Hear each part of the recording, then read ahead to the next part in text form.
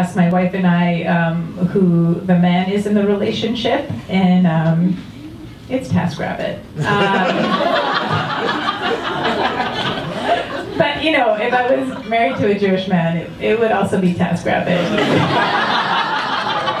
Um, no, it is very fluid in my marriage. There is like one moment where it's clear, and that's um, when we're getting ready to go out at night, and we're both in the bathroom, and uh, I put on one spritz of perfume like a lady, and she covers herself in a cloud of cologne like an Arab man going to the club.